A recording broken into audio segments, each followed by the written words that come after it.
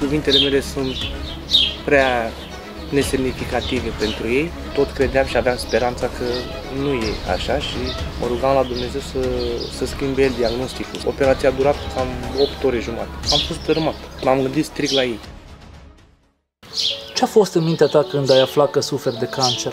Atunci, la momentul ăla, mă gândeam așa la copil, mă gândeam la ea, cum o să treacă peste lucrurile astea. Nu m-am gândit la mine când am auzit despre boală, m-am gândit strict la ei.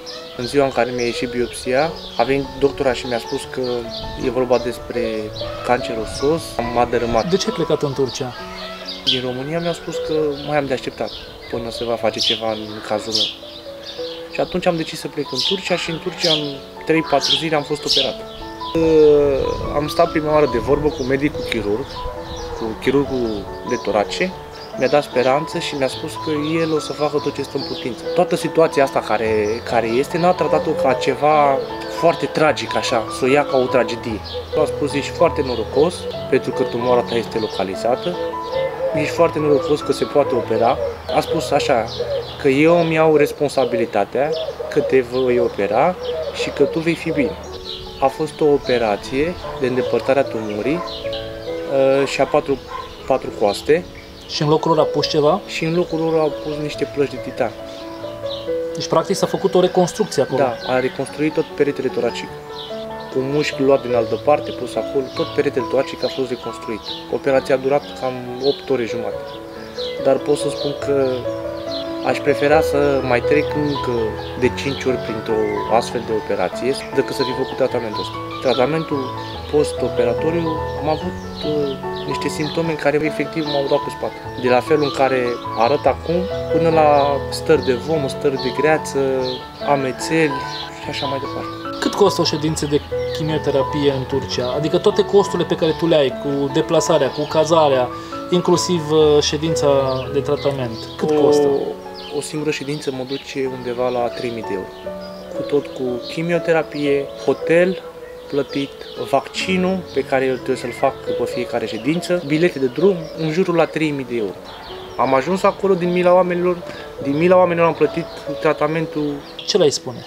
Aș vrea să le spun că le mulțumesc în tot sufletul, că poate cuvintele mele sunt prea nesemnificative pentru ei, dar Dumnezeu știu că îi va răsplăti. Ce înseamnă pentru tine Dumnezeu?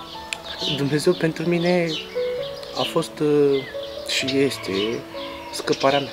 Dacă Dumnezeu n-ar fi fost în viața mea, eu cred că aș fi murit de 5 ori până acum.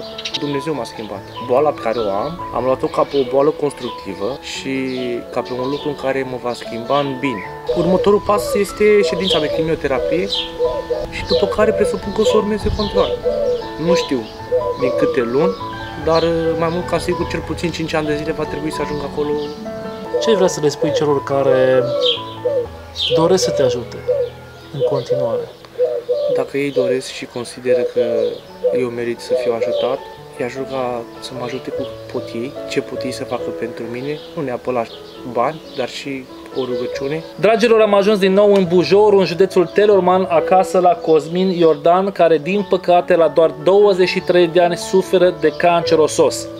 După cum bine știți, a fost operat în Turcia, i-a fost extirpată tumoarea intercostală, i-au fost tăiate patru coaste, s-a făcut o reconstrucție acolo și în momentul de față se află acasă și se bucură alături de familia lui.